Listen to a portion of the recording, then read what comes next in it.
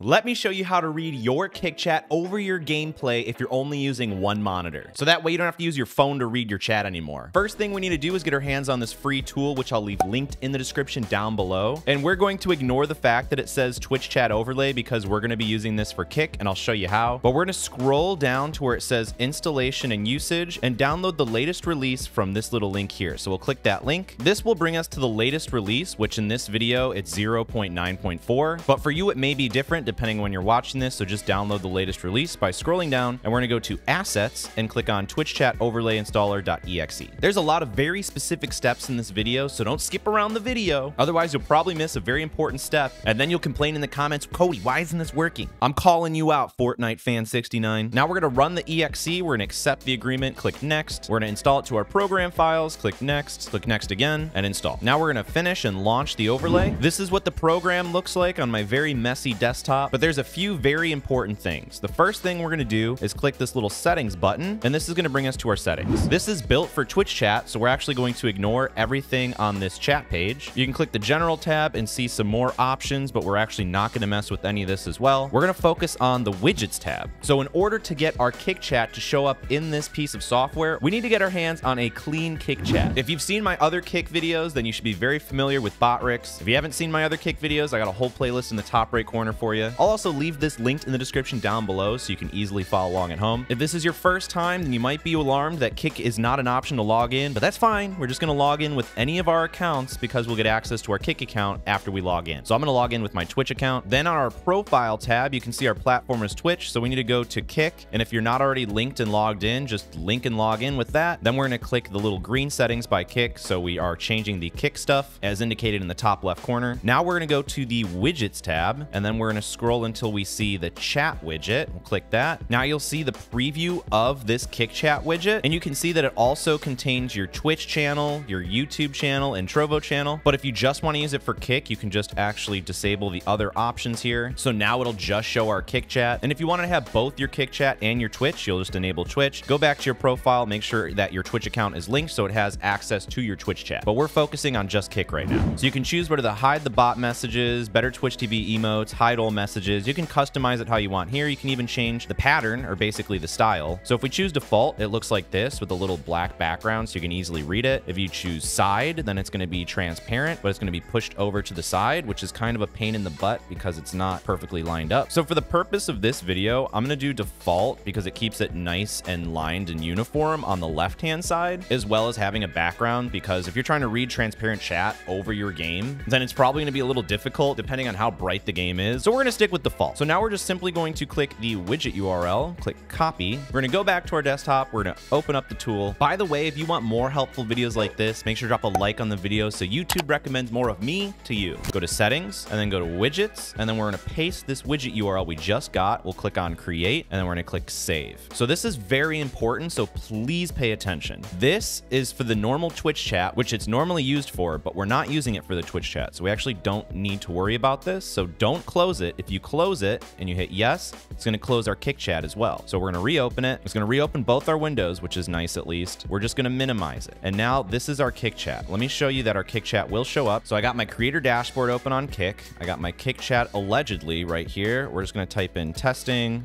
type in hi YouTube and see our messages here. For you, if you right click and go to zoom level, it's probably to look like about this. And so you can drag it by the corners or you can drag it by the sides and just kind of customize the size to your liking. But we're still not done yet, so pay attention. So this part's kind of annoying, but if you right click on this black original one, you'll see that toggle borders is F9. And what that means is if you click on this one, press F9, it gets rid of the borders so you can't interact with this. So that means the chat will appear over your game, but it won't mess you up if you accidentally click on it. So if you want to get it back, you press F9 and it doesn't work. Why is that? Because you have to go back to this, make sure that this is selected, press F9 and it's back. However, you know that we don't want this up here, right? So we're going to minimize this and this button does the same thing. So we're going to put the chat where we want it. Likely you're going to want it, I don't know, in one of the corners. I'm actually going to drag this down and I'm going to put it, let's say right above my webcam in the top right. We're going to click this little hide border button so that way we can't interact with it anymore. And now let's bring up a game. But if you don't like the position functioning of this, just re-click this, make sure that's enabled, press F9, and then do it again, press F9 again, and then you have your borders back. So otherwise minimize and then hide the border. So let's go to Steam and open up a game like Hollow Knight because this is also super important. You can see right off the rip that it's working, but it's only working because our game is not in full screen mode. It's technically in borderless full screen or borderless windowed mode. So if you go to your game, you don't see the chat over your game, it's because you're playing in full screen mode. So we go to video options or graphic options. You can see we're in borderless mode. So if we click right, this will be like windowed mode, and you can also just play it in full screen technically like that. So this would work too. But borderless is going to be your best option because it mimics full screen mode. However, if you notice, we're going to change it to full screen, changing it right now. Okay, where'd the chat go? It's because you can't play your games in full screen mode, but you can play in borderless full screen mode. So just play your games in borderless windowed, borderless full screen, or just windowed mode. If for whatever reason this tool like glitches out on you and you can't like find it when it's open like this, then you'll go to the bottom right corner, click this little arrow. You can right click on this little Twitch chat overlay bubble. You can either click reset window and that'll pop this back up. Or if you want to close it and it's not letting you close it, just go here and then right click and then click exit and then yes. And you can try a combination of things like that. But watch these other kick videos to the side of me. They're going to help out your stream so much. My name's Cody and I'll see you in the next one.